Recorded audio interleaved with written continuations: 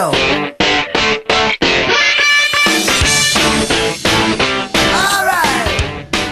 Welcome back to Full On Football, of course, with our guests tonight, Kon Antoniou from Adelaide Comets and gentleman John Perin.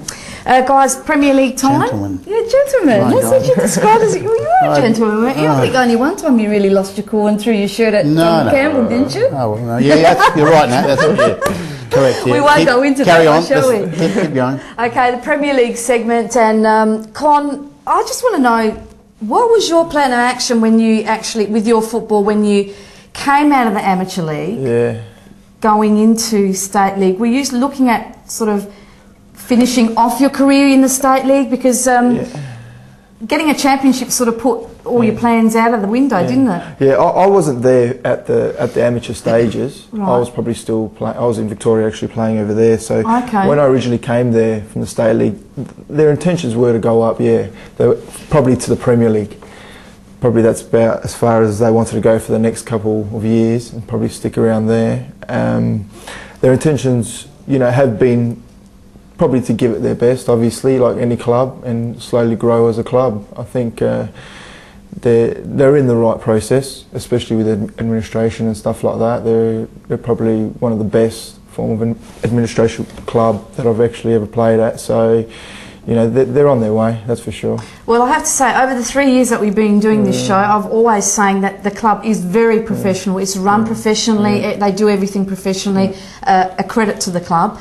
Uh, you doing the double last year, best player of the year and players player. You don't look too happy. What's wrong? He's very modest, Nat. He's very modest. boy. nah, because it's, it's not. It's really not about myself anymore. You know, I don't worry about personal accolades. I worry about the team and probably trying to give it back to all the young kids as well. Because um, you know, if you worry about yourself and stuff like that, you know, I think that's all finished for me. You know, goes back to when I was at Metro, the same sort of thing. You know, we we never worried about personal accolades or stuff like that. It's probably the more the more teamly you actually make it, the probably more successful you'll be as a club and as a team. So. Kon, I, I, look, I know it's early days yet, and you're still Mm. you're still halfway through the season, but um, can you see the team that you have now being strong enough to maintain your status in the Super League if you go up? Yeah. Um, oh, yeah. Because you know, look, the, you know, the reason I ask is because you see uh, Croydon this year they, they, they were up, promoted yeah. and they've kept basically the same teams, and it just goes to prove that. Uh, with all due respect to players that you have to get you out of one league, Yeah, that's right. uh, uh, are not going to be good enough to, to maintain your status, to be competitive, and to keep you in the higher in the higher division. Yeah, that's right. So, do you, Yeah. do, you, do you think that, you, that the Yeah. club will be will be looking at strengthening? The, the club will have to strengthen, Sure. whether you like it or not. Um, with our team at the moment, probably we rely a lot on, on experience. Yep. You know, and probably in the next step up, I think some of us, whether we like it or not, would struggle because uh, just for the pure factors, you know, it's South Australia's a small place, and I think a lot of players know your game. You know, and especially a lot of players that probably stuck around the Super Leagues and played in the Super Leagues, like myself. You know, Ryan Moore, um, Renette Galanopoulos. You know, the older guys, and you know they know our game. And I think when you take that next step, step up with the Super League, it's probably just a little bit smarter in the sense of, you know, when you play your Panthers and and your, and your other teams like that, where there's, you know, they they know your game, they know what you're about, and you know they, they probably concentrate on the same things, same things over there. So And look, I've noticed you're a bit of a talker on the pitch, but there's something else that I've actually noticed about you. Um, you seem to be the only player in the Premier League that wears a long sleeve shirt. Can you tell me why? oh, it just gets too cold for me. it gets too cold. I play at the back these days, and you know I don't run as much, so therefore you know I try and cut corners and stuff like that. So therefore I've got to keep the long sleeve shirt, and I like I like the long sleeve sort of.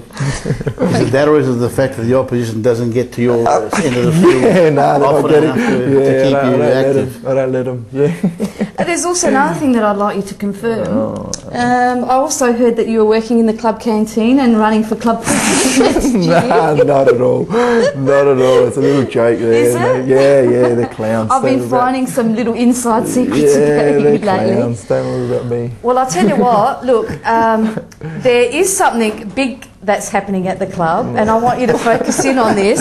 What is going on here? None bigger than your coach, uh, Dougie Patterson. What is going on here? Mr. Big. Mr. Big. That's right. He- Mr. Big. He's lapping it up, that's for sure. He Don't is about lapping it up, Yeah. Is that Isn't it? because of his size 16 shoe? Yeah, I, I, looked, I It's- it's kind of looked at that. So, um, I th- I think- unbelievable, isn't he? Just loves the limelight, doesn't he? yeah, no, he loves it. Don't worry about that. He's, uh, he's enjoying it at the moment, which is good for him. It's good for the club as well. Bit of exposure. Does he have a bit of a female following after that article? He reckons he hasn't been out since. Oh, so yes. he was Okay, asked the yeah, questions, alright. but he reckons he's been laying low. He reckons he's in the in the Ah. spotlight. So Oh, very good. Now, look, also, um, look, you have got some great names in the football club over there. You've got Raymond Blair, another legend of football, He- absolutely fantastic guy. Many a times I've had great conversations with him.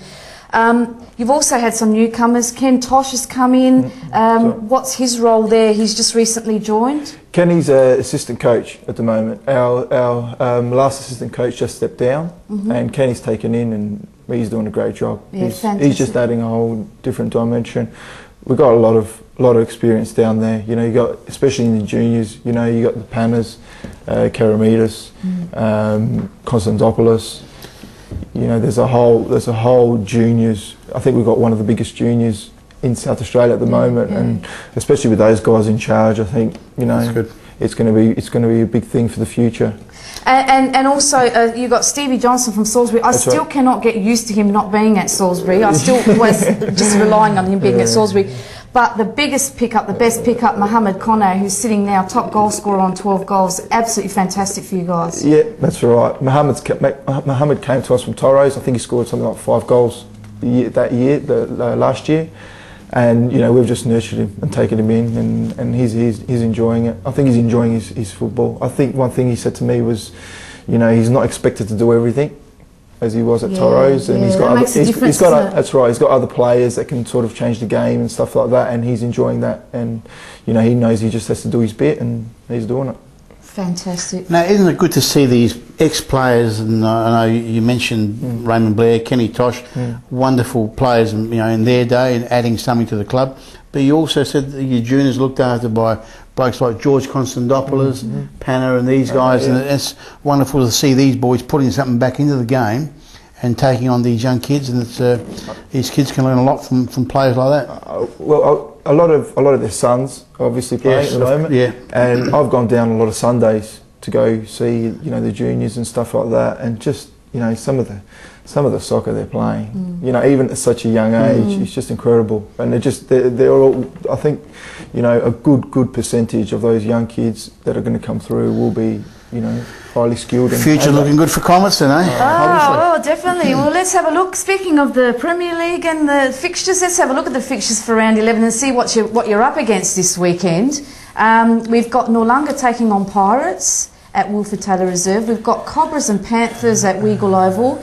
Um, a very important match here. Adelaide Hills, Western Strikers. That's third versus fifth. Um, Adelaide Hills have lost the last two games, so they would really want to be bouncing back up. And Western Strikers are a bit up and down. Um, Enfield are taking on Cumberland at night at 7 pm.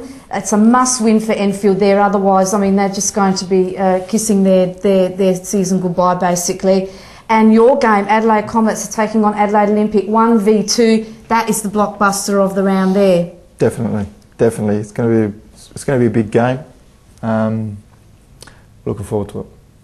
That's, that's You've got to watch Jovanovic up there. That's a job for you, is the, it? uh, Yeah, yeah, yeah, Jovanovic. Yeah, yeah. I think we're, we're. I think one thing we're taking as we're going forward is that you know we're actually not that bad, you know, and a lot of teams are worrying about us, you know, and you know for, for this time, you know, probably in the first time in the probably club's history, is that clubs are more worried about us than we're worried about them. So we just take each game as it comes. I think we're just happy where we are, and I think we've already we've already succeeded as a club. You know, where we take it from here is, is all up to the players. Most definitely. Um, well, look, I think we're going to leave it at that, and uh, good luck on the weekend for you guys. Um, it's a very, very tough match for you. It's going to be interesting to see what happens in that match and whether you're going to be, have a bit of discipline or whether the discipline will wear itself away during the match. Will be interesting. But uh, we wish all teams a great game, and we look forward to the results uh, next week. Time for a few words from our sponsors. Uh, so stick with us because you're watching Full On Football.